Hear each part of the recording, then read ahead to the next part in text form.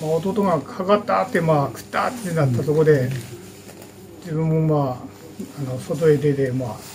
団員交代して、もう最初はもう根がかりしたみたいな感じでも上がってこなくて、まあでも20分ぐらいで上がってしまったのかな。うん、うん、やっぱりこう毎年まあこの築地まあ豊洲が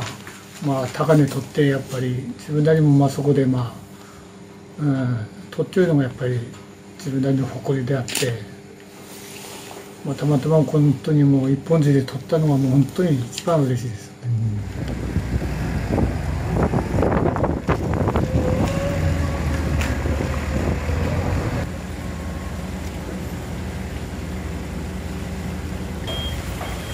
数年前に俺を起こして、半分くらい。